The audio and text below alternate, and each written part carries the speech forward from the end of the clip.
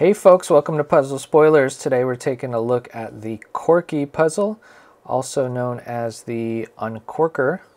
This puzzle was designed by Gary Foshee and was released by Bits and Pieces in 2005. The goal of the puzzle is to create a functioning corkscrew from these two pieces. It's a pretty simple puzzle. It only requires one step. Let me show you how to solve it. Let's first look at this piece. This is obviously the handle piece and this definitely will fit through that hole and come out the other side and there's nothing secret about this. It simply unscrews on one end and if we could just put that through that hole we'd have a functioning corkscrew. Let's put that back for now so we don't lose it and set it down. Let's take a closer look at the corkscrew piece itself. The problem here is that we don't have a clear pathway through those two holes. There's a little bit of metal blocking the path and when we twist the tip here we see the metal spinning in there so we know that this is one piece. We just need to figure out how to move that piece of metal so that we have a clear path. We can sort of see the hole there. It's not aligned. And there's another hole on the other side. What we need to do is get this piece, the corkscrew piece, to drop down a little bit. That will bring the hole down on this corkscrew piece and align it with the hole on the outer sleeve. There is a small ball bearing in there that's preventing the inner part from dropping down and we need to get the ball bearing to sit in the middle and drop down into a chamber before we can move this downwards. So in order to do that, we need to shake the puzzle a bit and we want to lift up just a little bit on the corkscrew piece so that it's not putting any pressure on that ball bearing. We need the ball bearing to be free moving so that it can fall into the small chamber inside that part right there. And we hear the bearing and we want to wiggle the puzzle around until we don't hear that ball anymore. And that's when we know that the ball has dropped and we can now push the corkscrew piece down further, spin it, and now we see that we have a free path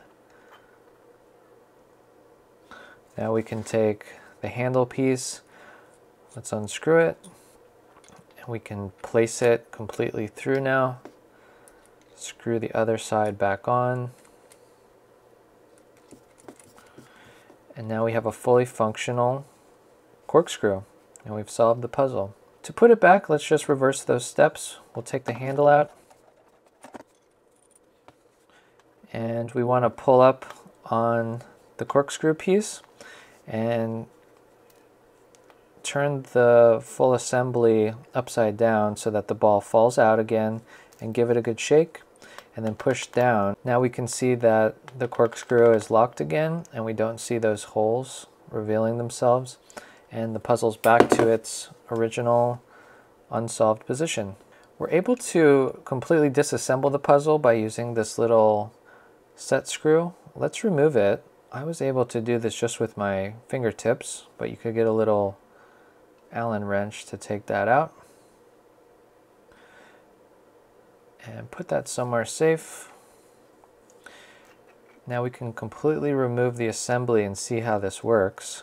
Let me show you the inside of this shaft. I'm going to shine a flashlight so you can see. There's a, a small hole, small divot there at the very end of the shaft. That's where we want the ball to sit in the solved position.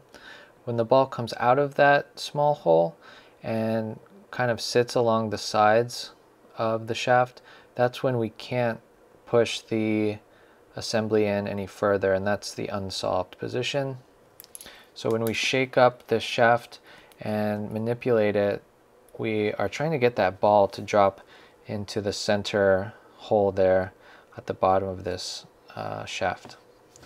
So here's what the ball looks like. Just a small ball. Let's put that back in. And let's take a closer look at this assembly. This is the spot where the handle goes through. And this just sits on top of that ball. When the ball falls into the divot, this can drop down a little bit further and align with the hole on the outer shaft. Very simple puzzle, uh, but really elegant and interesting design. Here's the original instructions. And here is the original box as well. I'm always on the lookout for these old bits and pieces puzzles. They're really interesting, unfortunately pretty hard to find. I do have more, so I'll be doing more videos on these interesting older designs. I'll put a link below to where you could find this puzzle at auction. If you found the video interesting, please consider liking and subscribing. And if you have any questions, let me know in the comments below. That's it for today, folks. I'll see you on the next video.